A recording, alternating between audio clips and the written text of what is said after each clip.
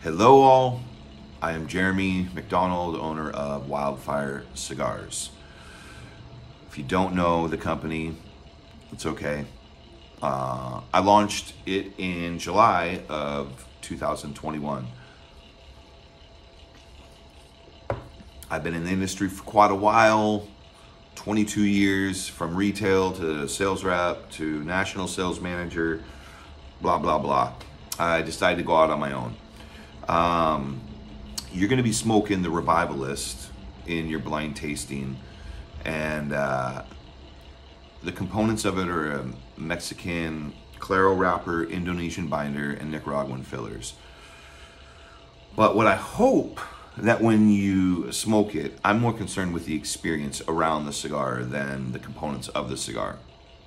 Um, you know, and doing this in a blind test some of you are going to be doing it on your own and writing notes down, and some of you are going to do it with another person. And uh, that, that's the cool thing about like cigars, right? Like it's about the experience you have with them. I've had great cigars that didn't taste so great because of the company I was around. And I've had really, really subpar cigars that were fucking great experiences. And, uh, that's what I love about cigars. That's why I decided to create a brand is because I love the experience. And um, you, some of you will pick up different notes on this cigar, you know, whether it be earth or cocoa or spice or cream or peanuts or whatever. We all have different palates and we approach things differently as well. But um, the point of it is to enjoy, right? Just to experience the cigar and uh, this line, The Revivalist, is that. It's the first of my core lines that's ongoing.